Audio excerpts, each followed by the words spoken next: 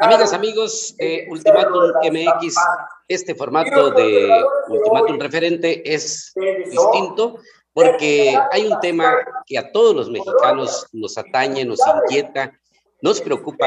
qué está pasando en la Cámara de Diputados Federales a propósito de la reforma eléctrica, una propuesta que ha enviado el presidente Andrés Manuel López Obrador.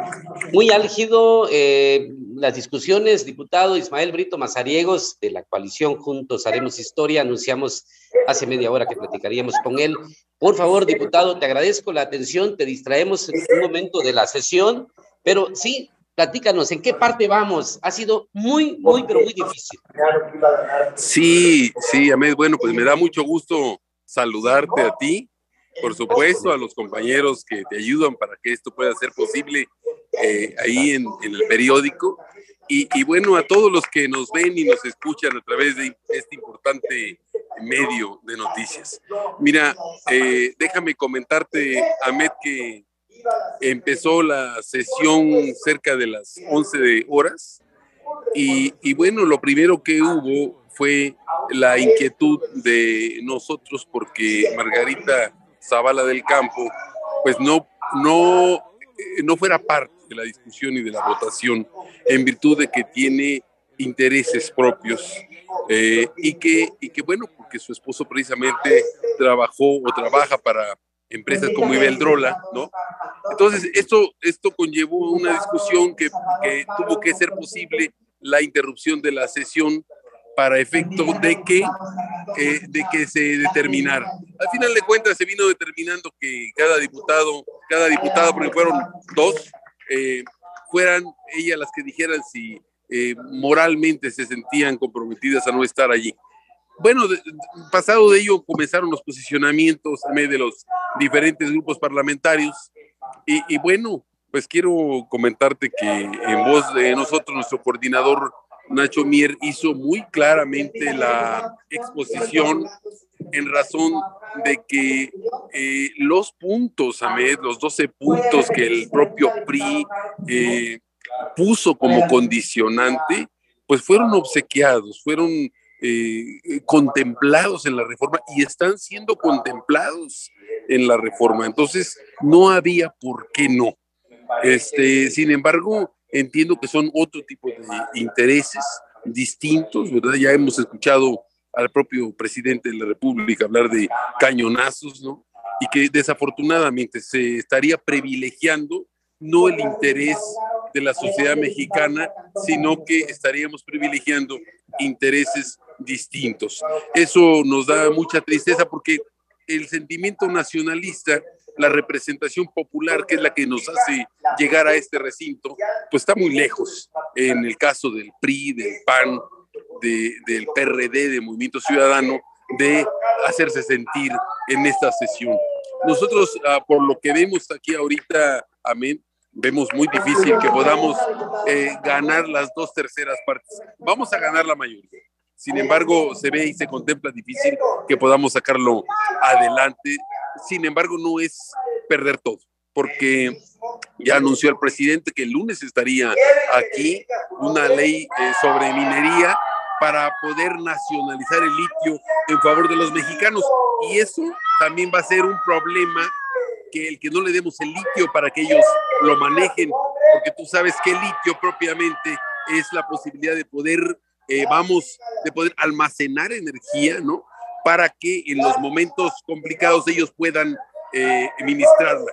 Y eso va con la intención plena de que, con la intención plena de que, de que las, las eh, presas hidroeléctricas al rato estén ya sin usarse como elefante de bancos y no mucho, en nueve años, a ver, podríamos estar sufriendo estas consecuencias. Es decir, diputado, la reforma eléctrica de por lo que percibimos, no va a pasar. Amén, voy a, voy a, acercar al oído y luego retiro para poder hablar, eh, para escucharte bien. Dime, por favor. La reforma eléctrica 2022, eh, podemos decir, por lo que percibimos, es de que no va a ser aprobada, está la discusión, como bien decías, falta la mayoría eh, calificada, pues se trata de eh, reforma a artículos de la Constitución. ¿Puede pasar o ves que hay alguna posibilidad de que se logren los votos que ocupa de la oposición Mira, Ahmed, lo, lo vemos esto complicado. Lo vemos complicado, francamente. Ahorita mira, la posición es totalmente radical. Y cínicamente vienen con banderas nacionales, digo, es un cinismo más no poder. No cabe duda que, que invierten sus recursos en aprender arte dramático y otras, otras finuras, eh, pero que realmente, realmente no, no, no, lo vemos complicado, mira, hasta ahorita lo vemos complicado. Se ve difícil. ¿Hasta qué hora va a estar la sesión? Eh, ¿Hay una hora determinada para el cierre? no, no, no, no hay. No, no sabemos si vaya a declararse un receso y continuar mañana. No, no sabemos, Amén. Pero eh, igual los, el, el, cabildeo se sigue dando, sin embargo, no, no se ve que avance. Francamente, la posición de los grupos parlamentarios es, están siendo completamente radicalizados, ¿no?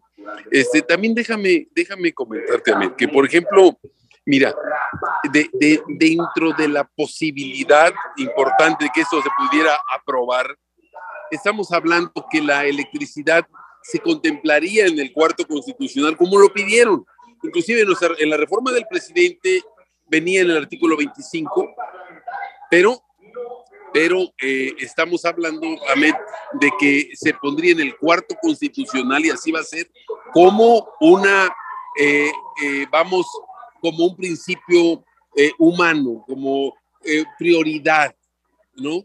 Es decir, como derecho humano. Entonces, eso está eh, muy importante porque ya va, va, a ser, va, a ser, inclusive, sería inclusive un principio que va como consecuente o como condicionante del derecho a la alimentación, de la salud, estaría primero el derecho a la energía eléctrica.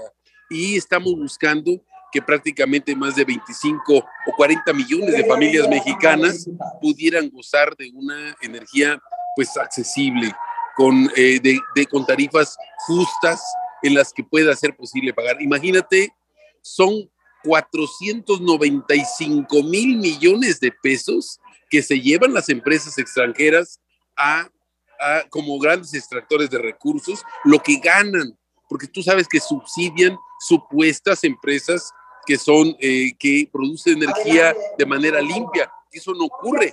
De 34, 28 lo producen con gas y reciben anualmente, solo por subsidio, 10 mil millones de pesos a mí. Entonces es un robo tras robo tras robo y eso es lo que seguramente ellos van a pagar las consecuencias en las próximas elecciones venideras en los seis estados de la República. Y a nuestro juicio se están hundiendo y eso no quiere decir que nosotros no podamos volver a proponerla en un nuevo periodo ordinario de sesiones. Como eso está el beneficio de sistemas de riego, apoyos a, a escuelas, a hospitales, vamos, eh, que de tal suerte que estamos nosotros dando la gran facilidad que todo ese dinero que se va al extranjero ahora quede en México para, la, para mejor proveer de todos los mexicanos. Amén. Eh, diputado, la eh, Coparmex dijo que esta reforma afectaría a los hogares, a las empresas la responsabilidad del personal no son real porque están comentando también la fracción del PRI. asunto personal. O sea, a, a ver, se, se, está contemplando, de eso se trata. Por eso no entendemos por qué pasan ellos a la, a, ahí a la tribuna a decir que quieren tarifas más bajas para los mexicanos. Si de eso se trata la reforma. Entonces, si están contemplados los 12 puntos que ellos consagraron, que la, que la Alianza Va por México manifestó, ahora se están desdiciendo y ahora precisamente dicen que ahora no son 22, que ahora son 44. Entonces, digo, o son 24 y así van para arriba. Lo que vemos nosotros con mucha tristeza es que nuestros recursos eh, que deben quedarse para México el sentimiento nacionalista que debemos de tener para, eh, para estar eh, bajo estas grandes responsabilidades, esos grandes retos que tenemos encima, enfrente de nosotros, pues que ellos no ayuden. Eso es una gran pena y que seguramente van a ver o van a verse reflejado en derrotas electorales, sin duda alguna. Eh, diputado, esta, pues evidentemente, construcción a la reforma del presidente eh, podría entenderse, se entendería como una derrota para Morena y eh, sus partidos aliados. Mira, mira, Ahmed, no, no es una derrota, porque la derrota se la están dando a todos los mexicanos con esta posición. O sea, a ver, lo que va a ocurrir con nosotros es que inmediatamente después vamos a nacionalizar el litio, que eso solo se requiere el 50% más uno, y además nos vamos a ir más allá, vamos seguramente a ya una con una nueva eh, constitución, una nueva, eh, vamos, reorganización política con las elecciones que vienen, vamos a replantearlo de nueva cuenta para que hayan diferentes actores, más actores metidos, interesados en la reforma eléctrica y la podemos volver a presentar.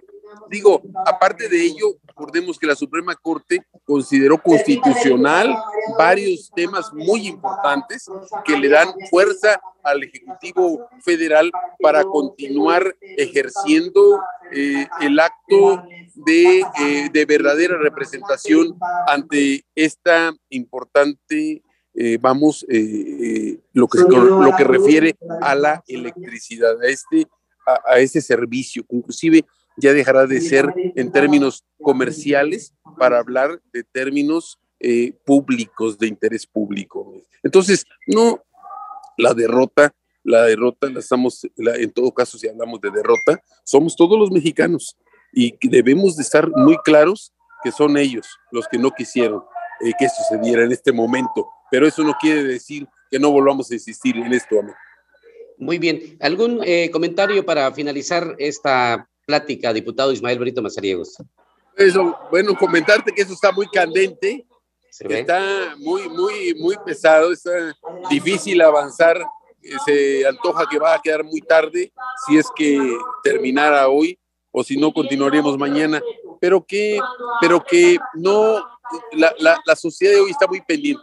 Yo he recibido muchísimos mensajes en donde nos dicen, adelante, no desmayen. Digo, aquí afuera hay 20 mil, 30 mil gente afuera de la Cámara, ¿no? Pendientes de lo que va a pasar. Entonces, este, eh, ciertamente lo que son, son traidores a la patria, no cabe la menor duda. Y eso es algo que no debemos olvidarnos para que al rato no concedemos gracias. Muy bien. Pues, amigo diputado, muchas gracias por tu tiempo. Pues, eh, estamos este, observando, estás preguntando ahí en la cámara. Muy bien, Amén. Participando. Buenas tardes, te agradezco Hasta mucho. Luego, bye. Muy bien. Pues, amigos, amigos.